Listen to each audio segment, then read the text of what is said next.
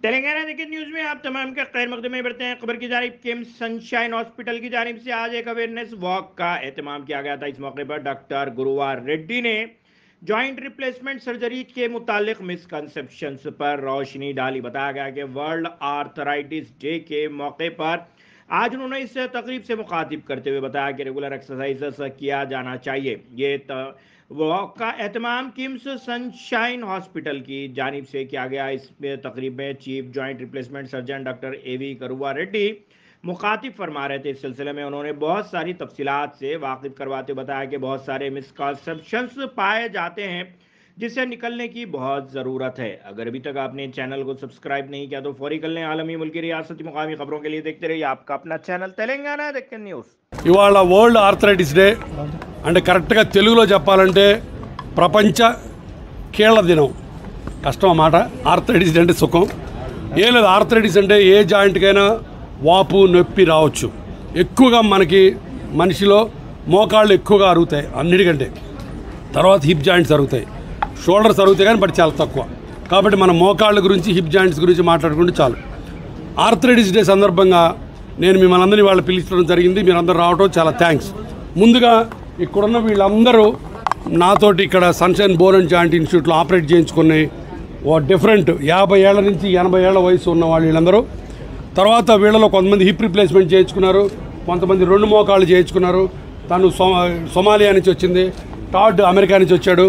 అన్ని దే ప్రపంచం నుంచి అన్ని చోట్ల నుంచి కూడా మన ఇండియాకి వస్తారు ఆపరేషన్ చేయించుకోవడానికి. అది మన ఒక ఆనందకరమైన విషయం గర్వకారమైన విషయం. ఆర్థరైటిస్ డే రోజు ఆపరేషన్ల కంటే కూడా మనం ముందు ముఖ్యంగా చెప్పుకోవాల్సింది ఆర్థరైటిస్ని నివారించవచ్చా? ఆర్థరైటిస్ని కంప్లీట్గా నివారించలేం కానీ మనం చేసే పనుల వల్ల దాన్ని కొంత దూరాన్ని జరపగలం. అంటే మరీ చిన్న వయసులో ఆర్థరైటిస్ రాకుండా కాపాడుకోవచ్చు. ఫస్ట్ ఆర్థరైటిస్ కారణం వయసు వయసును మనం ఆపలేం. రెండోది బరువు. బరువును మటుకు మనం తప్పకుండా చేసుకోవచ్చు. కాబట్టి స్థూలకాయం తగ్గించుకోవాలి. ఉదాహరణకి నువ్వు డెబ్బై కేజీలు ఉంటే నీ మోకాళ్ళు ముప్పై ఐదు ముప్పై ఐదు తీసుకుంటే. అదే నువ్వు వంద కేజీలు ఉంటే యాభై కేజీలు యాభై కేజీలు తగ్గుతాయి కాబట్టి బరువు తగ్గడం ఫస్ట్ పాయింట్. రెండో పాయింట్ ఎక్సర్సైజ్. ఎక్సర్సైజ్ అంటే నువ్వు లక్ష రూపాయలు ఖర్చు పెట్టి నువ్వు పెద్ద జిమ్లకి వెళ్ళక్కర్లా. సింపుల్ క్వాడ్రిసెప్స్ ఎక్సర్సైజ్ అని తోడ ఎక్సర్సైజులు చేసుకుంటే చాలు. అది రెండోది ఎక్సర్సైజులు. మూడోది రెగ్యులర్ వాకింగ్ కానీ సైక్లింగ్ కానీ మెట్లు ఎక్కడం దిగడం తగ్గించాలి. మోకాలు లోడ్ పడకుండా చూసుకోవడం రెండు ముఖ్యమైన విషయాలు. ఇండియన్ టాయిలెట్స్ వాడకూడదు. కింద మనం చె- చెక్క ముక్కలు వేసుకుని కూర్చున్నట్టు కూర్చోకూడదు. మెట్లు ఎక్కకూడదు. చాలామందికి మెట్లు ఎక్కి దిగితే మంచిదని ఉంటుంది. అది గుండెకి మంచిదే మోకాళ్ళకి మంచిది కాదు.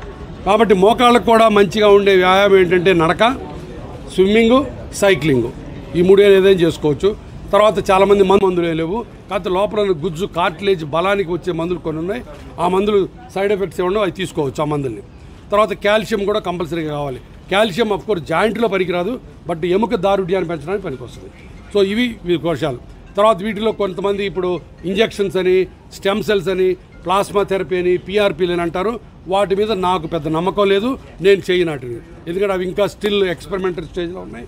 అవి ఇంకా పూర్తిగా ఖచ్చితంగా ఈ పేషెంట్కి పనికి వస్తాయి అన్నది లేదు.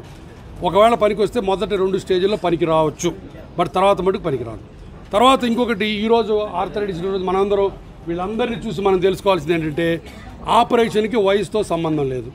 ముప్పై ఏళ్ళ నుంచి తొంభై ఏళ్ళ వరకు ఎక్కడేం చేయొచ్చు. అరిగిపోయిన దాన్ని బట్టి. అది రెండో పాయింట్.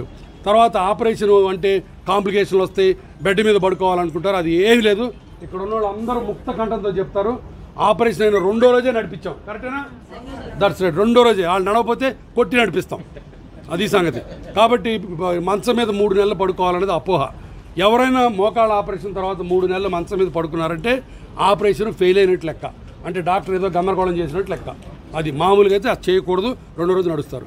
అట్లానే ఇప్పుడు దురదృష్టవశాత్తు కోవిడ్ వచ్చిన తర్వాత కోవిడ్లో స్టిరాయిడ్ మందులు వాడటం వల్ల హిప్ జాయింట్స్కి రక్త ప్రసారం తగ్గిపోయి హిప్ ఆర్థరైటిస్ ఎక్కువ వస్తుంది ఇప్పుడు.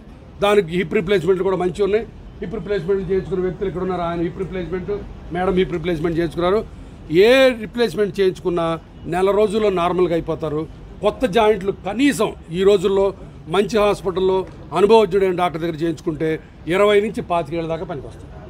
తర్వాత ఇప్పుడు కొత్త ప్రక్రియ రోబోటిక్ టెక్నాలజీ వచ్చింది. అంటే రోబోట్ ఆపరేషన్ చేయదు. మేము ఆపరేషన్ మేమే చేస్తాం. రోబోట్ సహాయంతో చేస్తాం. దానివల్ల మూడు మెయిన్ ఉపయోగాలు. ఒకటి నొప్పి తక్కువ ఉంటుంది. రెండోది మడత ఎక్కువ ఉంటుంది కాబట్టి కింద కూర్చోవచ్చు. మూడోది రికవరీ ఫాస్ట్గా ఉంటుంది. ఈ మూడు కొత్త ప్రక్రియలు వచ్చినాయి. కాబట్టి వరల్డ్ ఆర్థరైటిస్ డే సందర్భంగా మన వాళ్ళందరికీ మనం చెప్పాల్సింది ఏంటంటే నెంబర్ వన్ బరువు తగ్గండి నెంబర్ టూ రెగ్యులర్గా ఎక్సర్సైజ్ చేయండి నెంబర్ త్రీ గ్లూకోజమైన్ లాంటి కాండ్రో ప్రొటెక్టివ్ టాబ్లెట్స్ వాడండి. ప్రతి వాళ్ళకి ఆపరేషన్ అక్కర్లేదు ప్రతిరోజు ఆపరేషన్ చేయించుకోవాల్సిన పని లేదు. ఒకవేళ అవసరం వచ్చి నాలుగో స్టేజ్లోకి వెళ్తే ముక్కుతూ మూలుగుతూ చేయించుకో ఇంట్లో ఉండాల్సిన పని లేదు. పాత రోజులు అవన్నీ ఇప్పుడు ప్రతి వాళ్ళు ఆపరేట్ చేయించుకొని మళ్ళీ నార్మల్ జీవితాన్ని చక్కగా ఎంజాయ్ చేయొచ్చు. సో ఇది వరల్డ్ ఆర్థరైటిస్ డే సందర్భంగా అందరికీ నేను చెప్పే ఒక ఇన్ఫర్మేషను ఒక విన్నతి.